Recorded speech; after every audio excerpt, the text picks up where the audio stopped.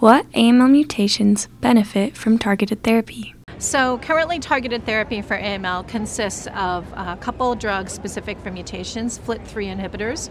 We have one FLT3 inhibitor approved, midostaurin, for upfront therapy, and another one, gilteritinib, approved for relapse and refractory disease. We have two inhibitors of IDH1 and IDH2 mutations, which are ivosidenib and enasidenib, respectively.